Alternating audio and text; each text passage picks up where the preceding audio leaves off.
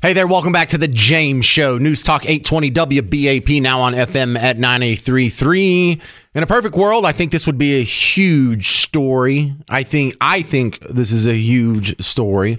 I hope you find out uh, when you hear the details that you think it's pretty important too. There's a lawsuit filed against Dallas ISD, and this is having to do with uh, not just the mask mandate, but the way some a couple of kids were treated during the whole COVID hysteria back in 2020 and 2021. Now, if you go back uh, three years or so, listen, the, the, the coronavirus pandemic is not nearly as big of a problem. The, the coronavirus itself isn't nearly as big of a problem in hindsight as our reaction to it. And by our, I mean government's reaction to it, and about half of our neighbors who were just so eager to be swept up in the hysteria that all turned out to be false. So a lot of, so much of it turned out to be false. Let me say that.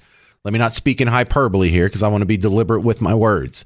But by the time 2021 rolled around, there was enough evidence out there about how masks didn't work and mask mandates definitely didn't work, whether or not you still wanted to argue about masks. Uh, I, I, can have a little bit of gray area because the Cochrane study doesn't come out. The Cochrane study is something that I will make reference to on quite a bit of shows and segments whenever we talk about COVID because the Cochrane study should have been like the death knell for all this mask garbage to begin with. Um, the when when Cochrane did their review of what was it like 19 different studies from 130 countries covered and their meta study of mass studies came across with the conclusion that this whole mass thing didn't work uh, it didn't work. The masks themselves didn't work. The mandates sure as hell didn't work. And it, it was all just a waste of time. Well, now that we know the truth, we need to go back and look at what these people were doing in the name of mass, in the name of violating your freedom of movement, of assembly, to go to the grocery store, to go to a, your own church, to be in public, to go to a bar, to go to a concert. This was all wrong. It, it all turned out to be erroneous. Go check out the Cochrane study. There, there's no question on masks anymore. The masks themselves and the mandates completely worthless. So everything that you did to kids, every mask mandate did to kids, was just torturing kids. It didn't have any positive effect. You may have been thinking you were doing the right thing. You may have been thinking that, uh, well, you know, until the studies come out, we better be more safe than sorry. But in this story, it goes way past that. Okay, yeah, it's not fair to judge them and say, okay, everyone that was doing this to kids, you were just torturing them for nothing. That is the truth, but I like to give people the benefit of the doubt. This is beyond that. This is in 2021, where we didn't have the Cochrane study yet, but we did have enough evidence that uh, the mask mandates, scientifically speaking, didn't make sense to begin with. But now in real world, now that we had a year of studying under our belts, of observation under our belts, Governor Abbott here in Texas finally released them. Now, he said there's no longer a statewide mask mandate. And uh, going forward, this could be decided on an individual county by county basis. And of course, in Dallas County, we chose to keep the mask on. In Dallas ISD, they chose to keep the mask on. Still, it's in their prerogative, and there's a little bit of a gray area that uh, I can still have some sympathy for them until you read about how they treated the students who didn't comply. Now, you know, they have no malice to the actual students themselves, but this got political real quick. You know, the students who come in without a mask are the children of parents who don't believe in masks. Now, when you are taught that the other side is Hitler and you're taught that the other side is evil and Nazis and they're going to kill grandma and they don't listen to science and they hate women and they hate minorities, they hate, hate, hate trans and everything else. And well, that explains why you would treat these kids in such a vindictive manner. It's because you were being a hateful little political snot with your mass mandate. You aren't applying these rules to just be safe, better be safe than sorry, or keep the kids safe. The uh, in the lawsuit here, I don't know how many kids they did this to, but um, there were. I doubt these were the only two kids that had to endure some of this. Let me give you an example what happened to them.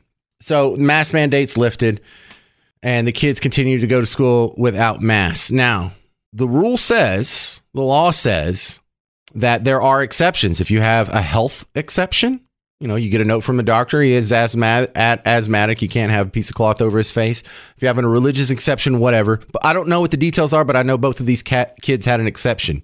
Didn't matter. They got isolated from the rest of the class. They were made to sit in a plexi, an unventilated plexiglass box in the library, is the way it's described. Now, I haven't seen what this looks like, but that's what they did every day for two months. They would go to school, go to the library, go sit in your plexiglass box. You're not going to be subjected to any instructions.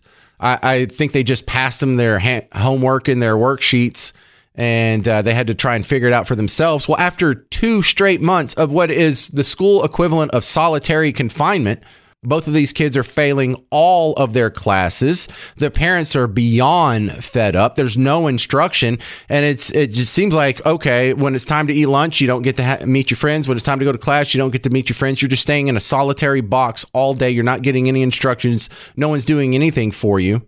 That's where the lawsuit comes from. Here, is where I get very serious. Anybody who did this or something like this, somebody needs to go to jail. We need to start taking the Constitution a little more serious.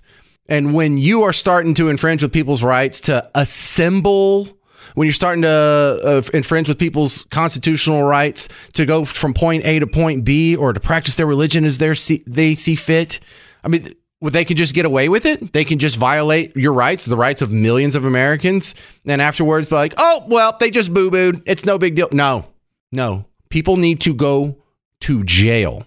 If they can go find everyone that loitered through Statuary Hall without knocking over the velvet ropes on January 6th, if they if we have room in the criminal justice system for them, we have rules in the criminal justice system for the people who violated the rights of 330 million Americans to worship as they see fit, assemble, travel, yada yada yada with these mask mandates.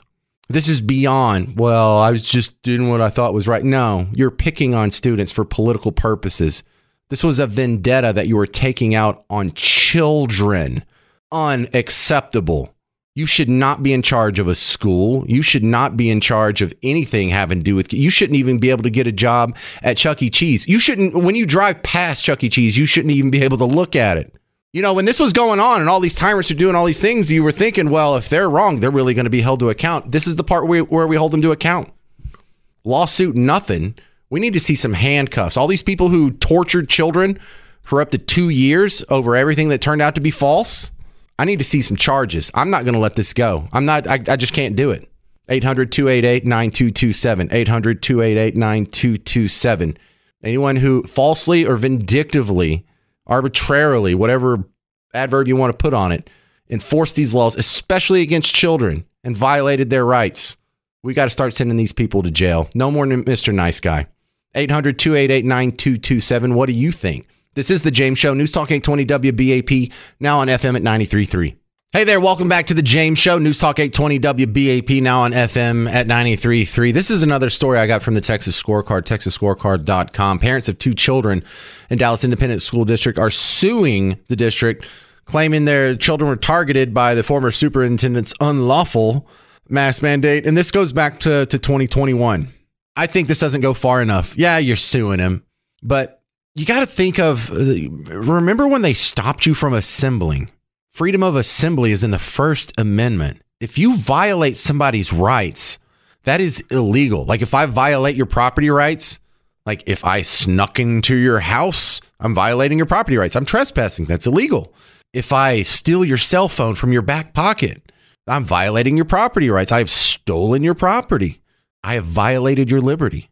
If I forbid you from going and assembling in public, it's the same sort of violation as your rights. Whoever did that, whoever, number one, is the backstop, you know, the buck stops here. Whoever made that rule, that's illegal.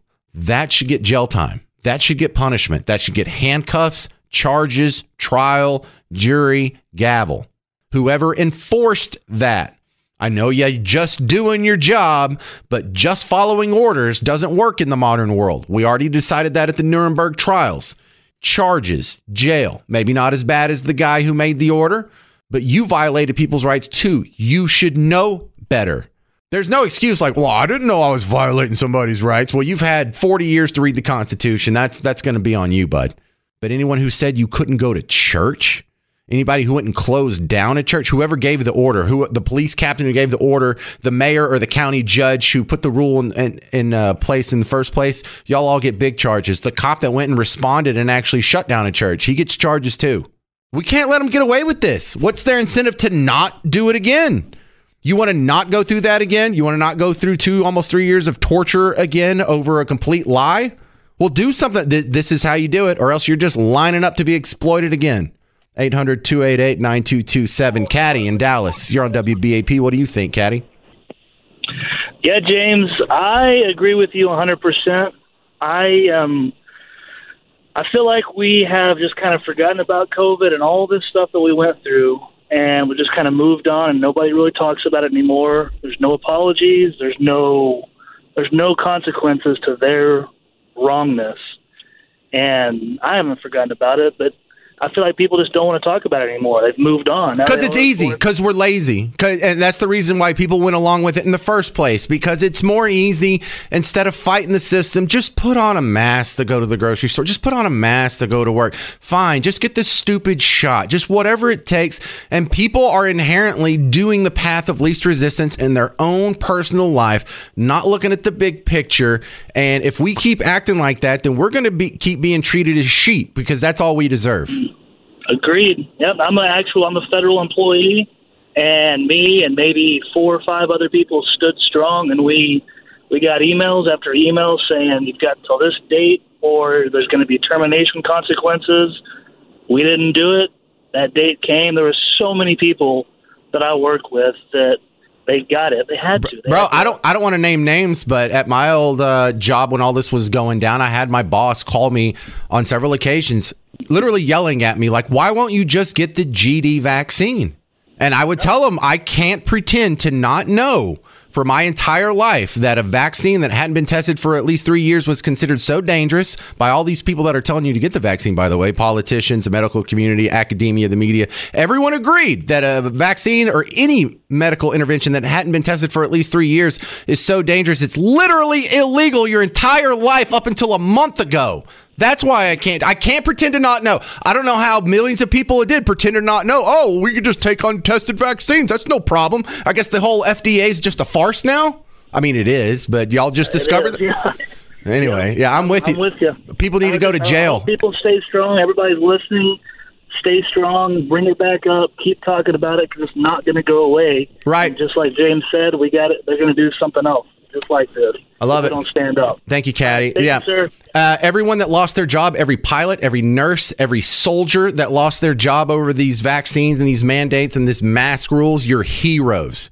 You deserved better. You deserve to get credit now. You deserve an apology from all the Karens out there who were so easily duped. All the people that were snitching and tattling on you. And when I walked into the grocery store and some guy went and told security guard that I'm not wearing a mask, I'm like, I just got snitched on by a grown ass man. Real quick, Lance, can you do this in one minute? You'll be my last call on the James Show on WBAP. What do you think, sir?